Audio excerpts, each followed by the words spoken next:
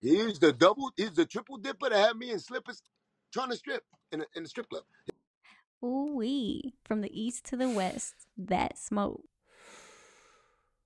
Uh, the a little bit of love.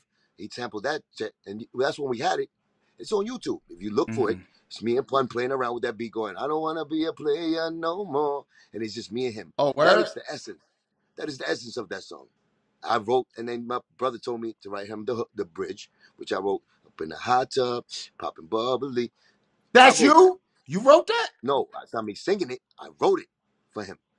He No, sung it. that's what I'm saying. You wrote that. That you, Yeah, you- so I you wrote that. did you get songwriting credits? No, of course not. It's my brother, and we did that shit on GP. That's my brother. You know, what? we didn't know about the business like that, but I know I can tell you that. And if my brother was here, he'd tell you I wrote it. He fucking put me to write it. I didn't get no Yo, credit that because hook you was know crazy. whoever's supposed to be whoever's supposed to be taking care of my business affairs, which was later on. You know who that was?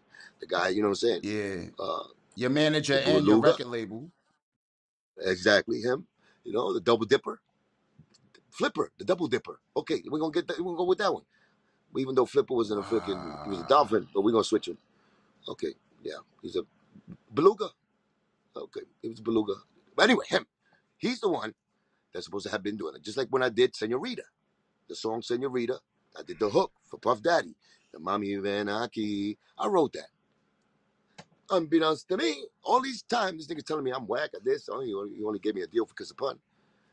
Now I So you didn't get and I see this songwriting credits for that, Mommy Benaki? I didn't get that fucking credit Bro, because the beluga, beluga used it for his own purposes and to get Puffy but the to do double the dipper. on his Don Cartagena. Double dipper, triple dipper. This nigga's a triple dipper oh, yeah, for real. Well, Like he's a no triple dip. Nah, he trip. Yeah, Yeah, a but he had you with no no strip. No, he had you with no slippers and like a stripper. He was just paying you dollars. He's the double, he's the triple dipper that had me in slippers trying to strip in a, in the strip club. Yep. Yes, he thought you was a stripper. Cause I'm being dead that's right. serious. It seemed like he was just throwing ones at everything you was giving him. From back then, and when I look at it in hindsight, I see this nigga was doing dirt bullshit like that. And I was still trying to be humble, trying to be loyal, because I was in that position where I got to show him that I'm nice, because Pun was one of the show, you know, the talent we had, so we could fit in where he at, because that's what he had to do to do it, right? Because he had the talent and all that. He wanted to show Joe how talented we was, so we could, you know what I'm saying, roll together. It's cool. And uh, the more bend over backwards and try to show him, do shit that, you know, even though I, I probably knew some situation where he probably double dipped extra or triple dipped, and I, I let it go. I would let him know. You know, I, I know that, my nigga, but you know, I'm showing you I can pay dues. Like a real nigga. The more you did that, show that Mhm. nigga honor, respect, and love, the more I see that with me, he turned it around into more hate. You know, you showing your your, your, your, your quality as a as a human being, as a man, as a, as a rapper, it was bad. It was more jealousy he got, more jealousy he had Yeah, when I look now. So, you know, that was what that's some uh crazy shit though. I mean, I wouldn't. I, I don't regret it. I don't regret it because it was what it is. Like I said, it was destiny. If I was, we were meant to come learned. out this way through the through the snake pit. You know, if we was I think put in the everybody got pit. that though. I think everybody Nah, got that same don't so. I don't think so. I think yeah, niggas being slick and then, but they're corrected, right? No problem. No niggas don't go out their way to fucking block a fellow fucking dude because they know and they respect. They got a family, Yeah. and you know that would make a bit of miscommunication. But you're not gonna do that to a nigga that you know is from your cloth, is from your neighborhood. I mean, even li- like that happened to even Lil Wayne, bro. That even happened to Little. Yeah, but Wayne. nobody, no, no nigga went and crazy as fucking as being a despic- despicable after twenty something No, I see what you're that to saying. like like to Punch family, to do that to me, to block me to this day. You know, to go out their way and knowing that he's the- like we we are seldom we we we we are, we the minority, we Latino niggas. You know what I'm saying? We Latino, so he know he hold that key. He wants to be the only Latino to be known like what Pun is known for, like the illest. He wants to have that type of power. But why hasn't you got a young Chris Rios that is No, don't ask me why. Don't ask me why. You already know that I know that. I told you that he's blackballing Chris. Nobody want to believe me? Wait till 10 more years. It's going to show you again.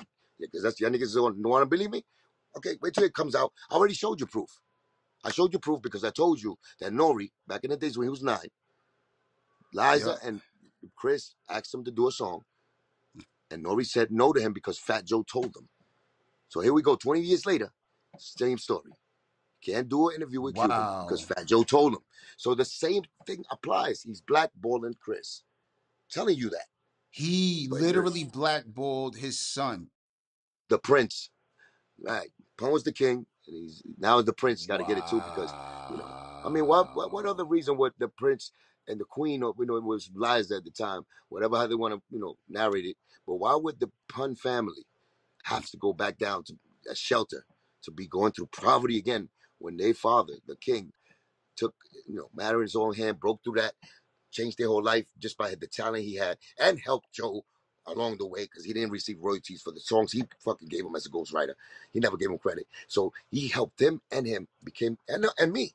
So Pun helped every fucking body become, you know, this, this on this level. And then when he dies, the, the most precious thing to Pun, if you know him, if you're a friend, was his kids and his and his, and his wife. And why do they got to go back now to the to the first floor again, According to under Fat Joe, basement? As a social status because you know this nigga want to take money.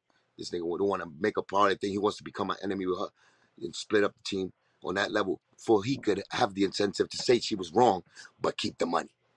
That's why. yeah, Once well, let again, me. smoke screen, le- smoke screen. Through the smoke screen, and she did some foul shit, whatever. He did some foul shit, and now because of that foul shit, he's forgetting that he's like this with the money, taking it. See, So did this ever take like place? like Did that. he that, ever that, go that down to the studio?